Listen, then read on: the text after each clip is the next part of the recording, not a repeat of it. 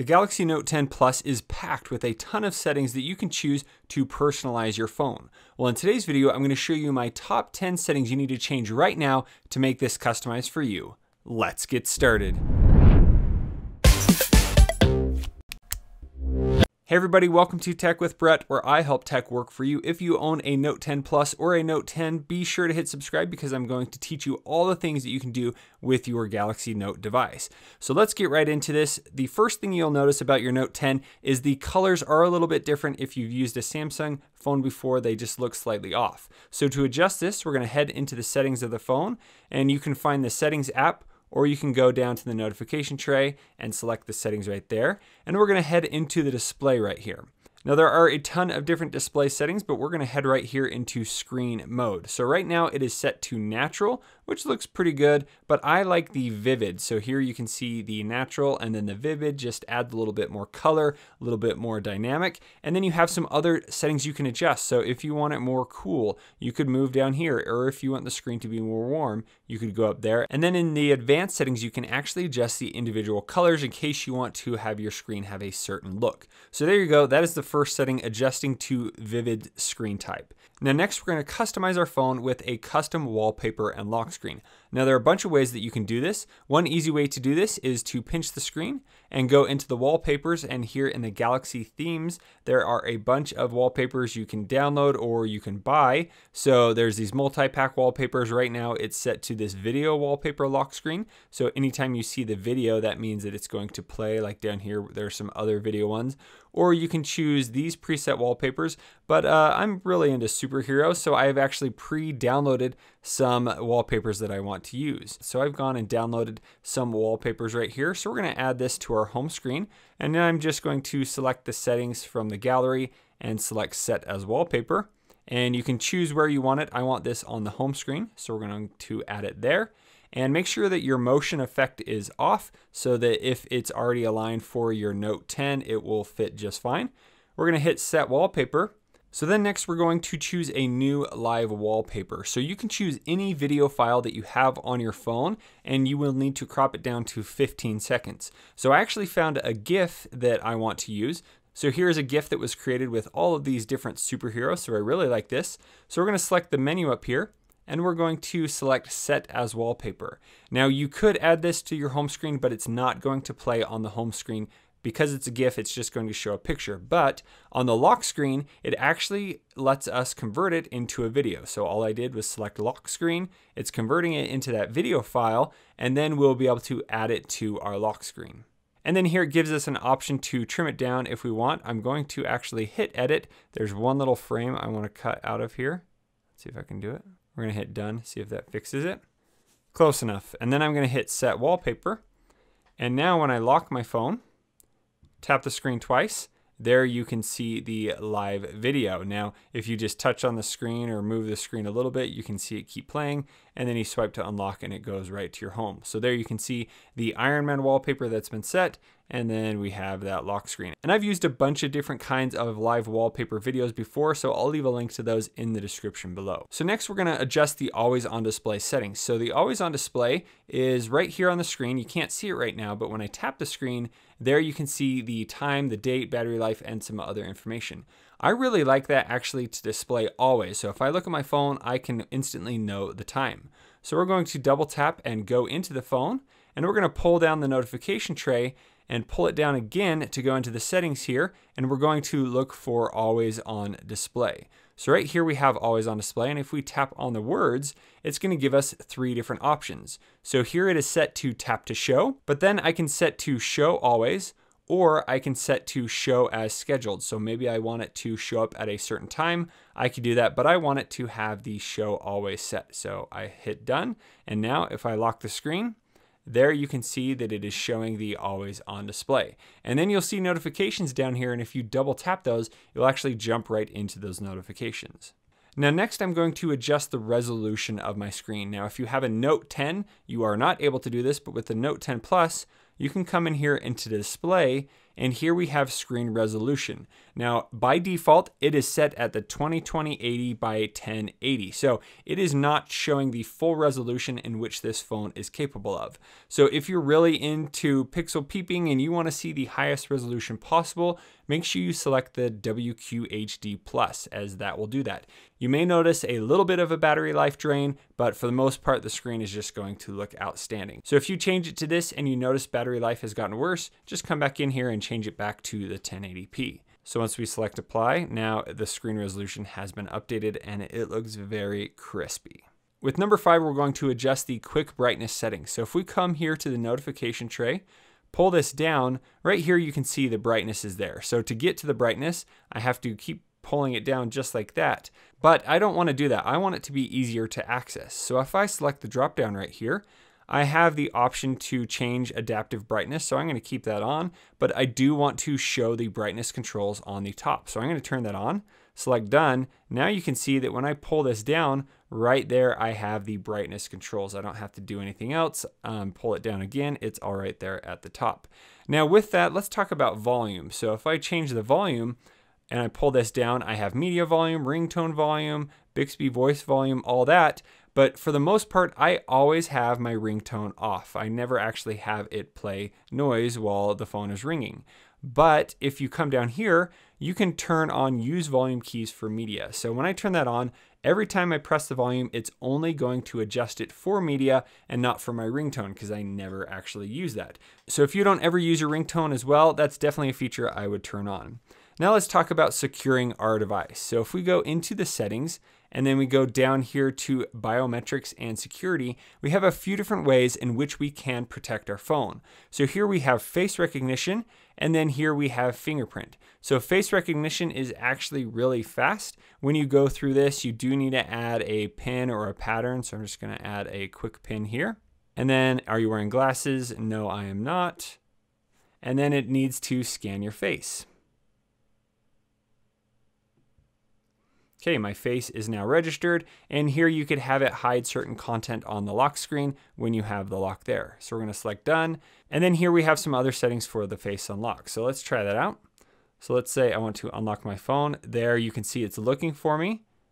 As soon as it finds me, it unlocks, and then I can swipe and get into the phone. Now you also have the option to use your fingerprint on the ultrasonic fingerprint scanner. So we're going to go into the fingerprint, add in our PIN code, and now it wants us to scan our finger. So right there, that's the only portion of the screen you can press your finger, but through these tips, you'll be able to quickly unlock your phone using your fingerprint. So here we're just going to press right there, and then you're actually just going to move it to the edges um, just so that it gets a full scan of your fingerprint. Now I am using the Whitestone Dome Glass Screen Protector. So far, it's actually worked really well. So I've done my right thumb so far. I'm actually going to add my left thumb on here um, just so it kind of has both in the same fingerprint. Uh, I don't know if that's recommended by Samsung, but this is what I do just to make it scan fast and being able to easily use either thumb if I want to. So then going to move it around and then it has scanned 100%. So I'm going to select done and then here you have some other settings as well. You could add another fingerprint if you want. But then I'm going to hit home. Let's lock this back up. And so I'm going to press right here. And there it said no match, but if we push again, it's going to go right in. So it will take a bit of time to learn where that is, but if you go to your lock screen, just press right there, instantly it goes in. I don't have to wait at all. So one more time, I'm going to press right here and it jumps right into the phone. So that is how you add a fingerprint or the face unlock feature. Now, if you have both of them turned on, it is looking for the face as well as the fingerprint at the same time. So whatever it sees first, it will unlock it that way.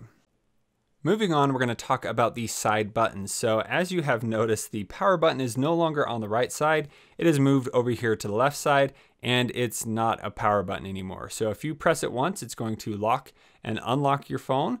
But if you hold it down, it's going to open Bixby. Well, that's cool, but I want to adjust this to exactly what I want it to do. Another quick tip is if you want to take a screenshot, you hold down the volume down and the power for just a second, and it takes a screenshot just like you would expect. But if we want to adjust those settings, we can hold down the volume down and the power for a little bit longer, and it takes us to this menu where you can turn off the power, you can restart, change the emergency mode, or here you have side key settings.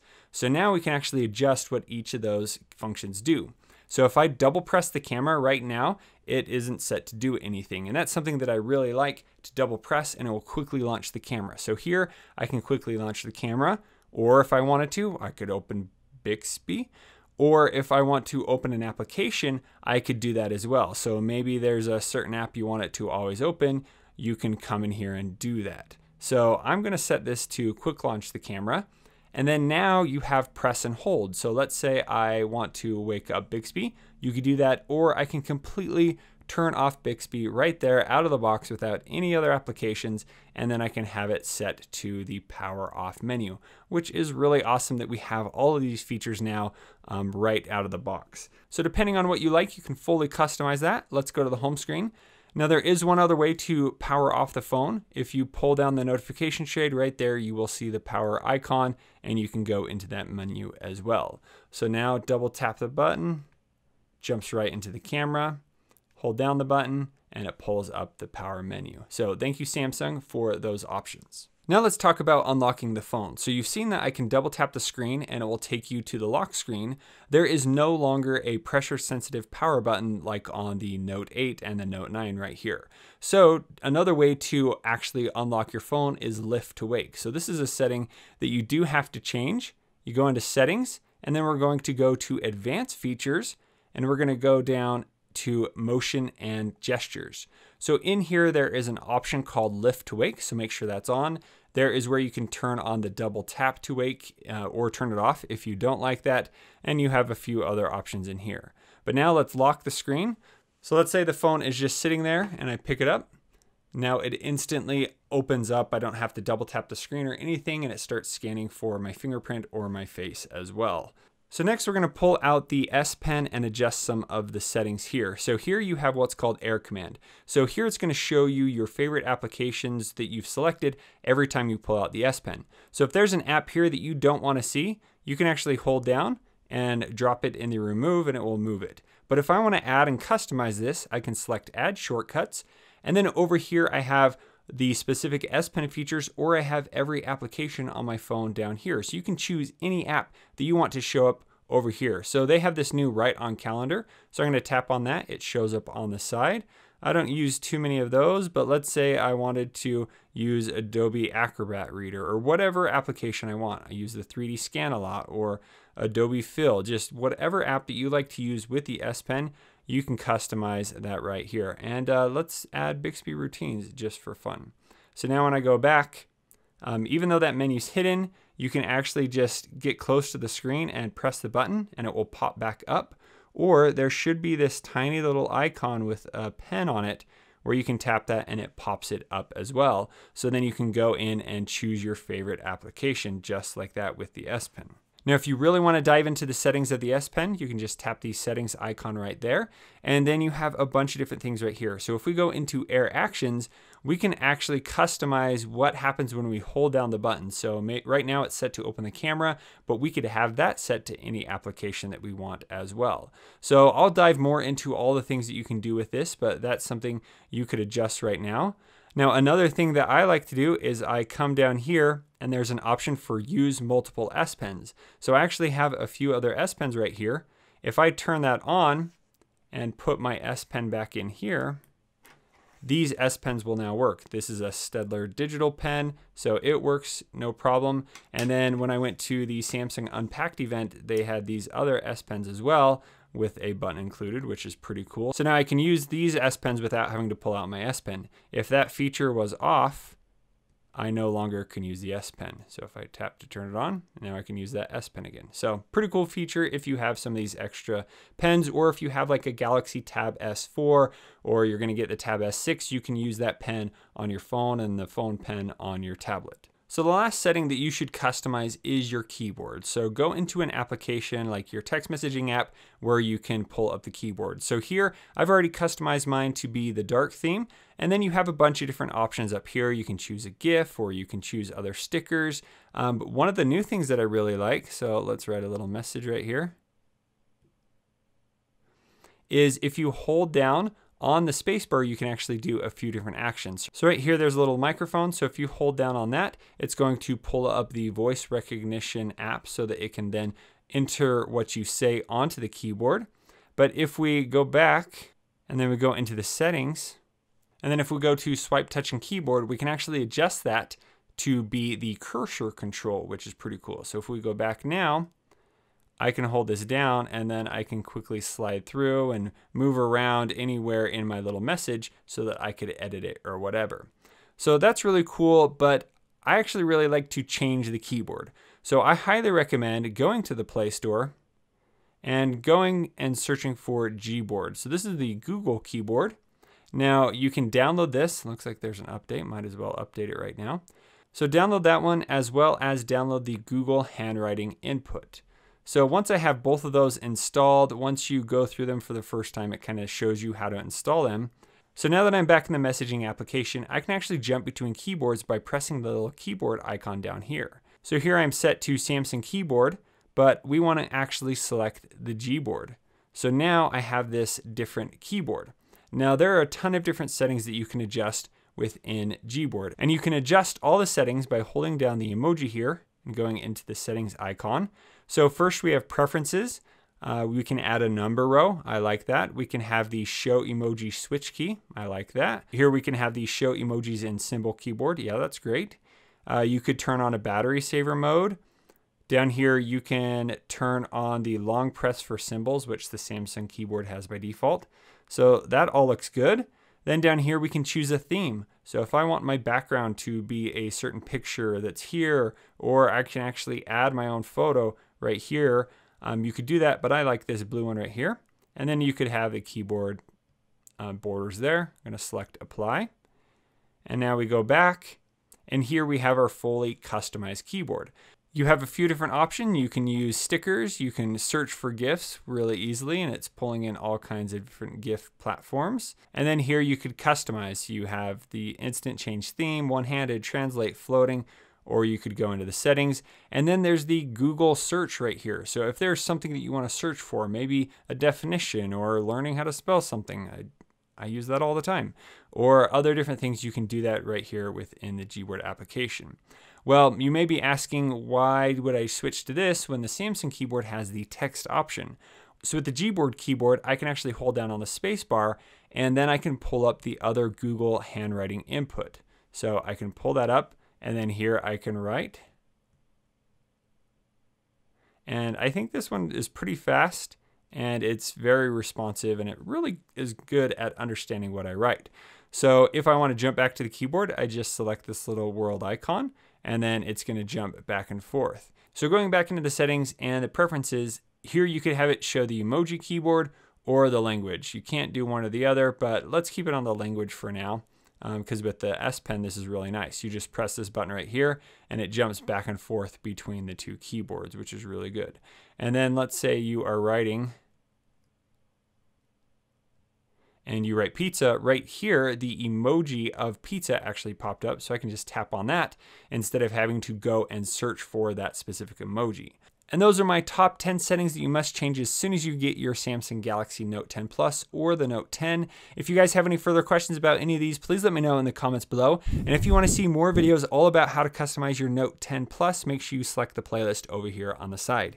Thank you so much for watching. We'll see you on the next one.